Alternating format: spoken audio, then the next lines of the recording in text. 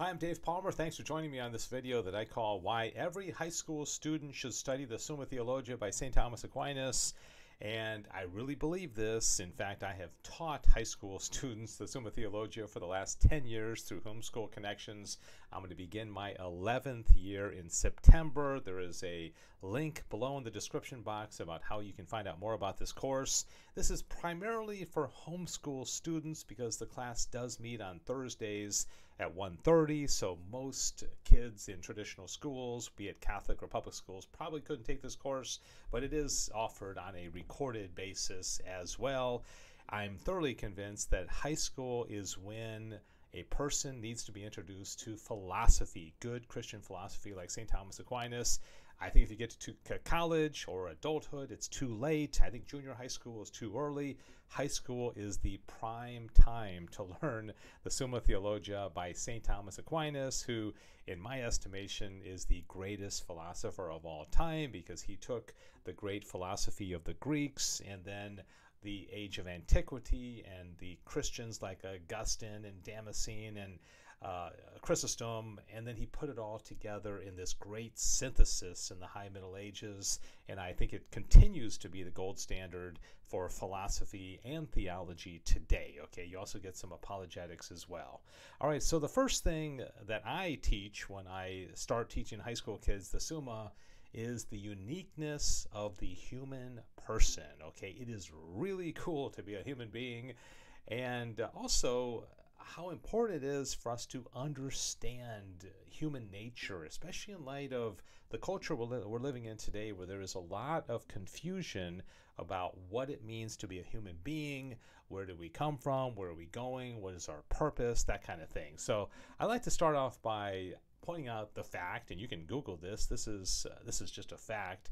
There are estimated to be 8.7 million species of visible creatures on the earth. Okay, I say visible because I'm not counting the angels. You can't see them. You know that there's a lot of angels as well, but we're talking about the creatures that we can see on earth. And let me just give you some examples. Okay, there are 3,000 species of snakes in the world. There are 10,000 species of birds in the world. 900,000 species of insects and 32,000 species approximately of fish. Okay, so those are just some examples. 8.7 million species. Okay, that's a lot of creatures out there. And what I point out to them is that only one of these 8.7 million species of visible creatures was, first of all, made to the image and likeness of God. Only one of them has intellect and will, and only one of them has free will. And so we are really, really unique and also complicated creatures. So here we are, and I think this picture kind of sums it up because you know you got the angels kind of above us, incorporeal, intellect and will, very, very intelligent. And then you have those 8.7 million creatures here below.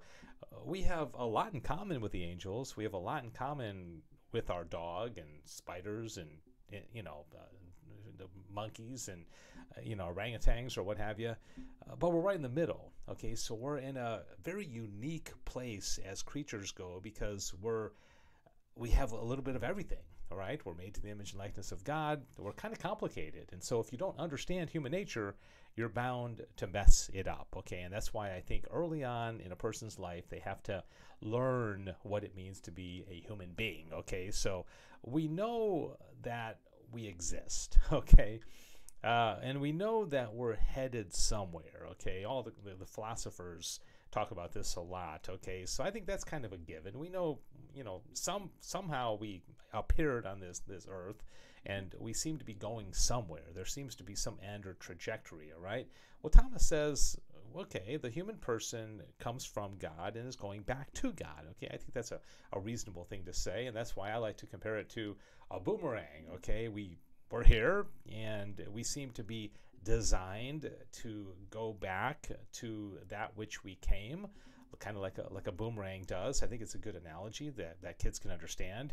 So the Summa talks about this journey of being born and being created, and then being drawn back to our ultimate happiness. Okay, it's a very optimistic philosophy. So, real quickly, I'm just going to tell you some of the highlights of the Summa Theologia. At the very beginning of the Summa, we learn about the existence of God, the famous five proofs from St. Thomas Aquinas, the existence of God. And then once you become convinced that God exists, well, what is he like? You know, what are the, the seven attributes, as I like to talk about it, including his simplicity and eternity and uh, his immutability and unity, right? Uh, um, very, very fascinating. And then we talk about his his intellect and his will and uh, what it means for God to be a trinity of persons and have relations and notions. And uh, it's it's really it's really fascinating. All right, the angels. Okay, I mentioned them before. What's the purpose of the angels? Why do they exist? How do they help us? Well, they, they do help us in, in a lot of ways. And those 8.7 million creatures, they're not just there for no reason.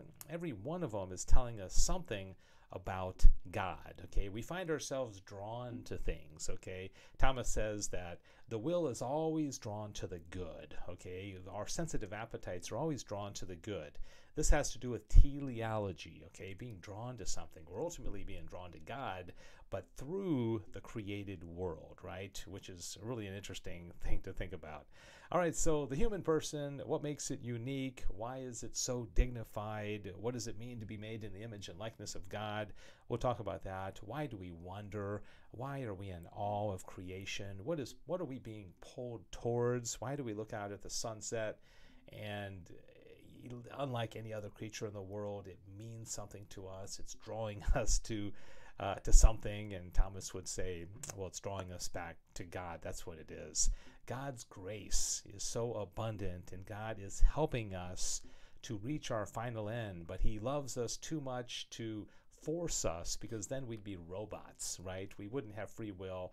We have to choose to respond to God's grace through things like the theological virtues, which we assent to, the cardinal virtues, the four kinds of law, which is a really interesting concept. The gifts of the Holy Spirit help us supernaturally to reach, reach our final end.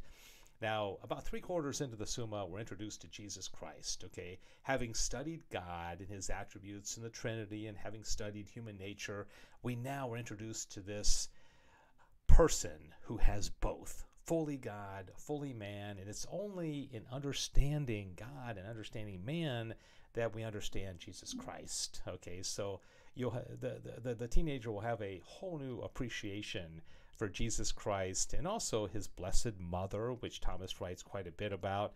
His life, his death, his passion, his resurrection, what all that means, the fact that he leaves us behind himself in the blessed sacrament of the Eucharist, and also his grace, which uh, principally comes through uh, the sacraments like matrimony and baptism and confirmation, right?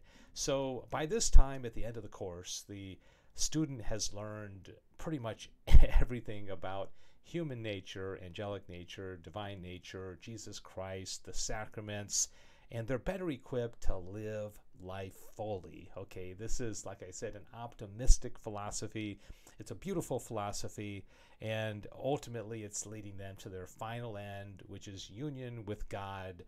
And through belief and love uh, of Jesus Christ and you know reception of the sacraments and the Eucharist and so it's very Catholic of course as St. Thomas Aquinas was a Catholic priest after all.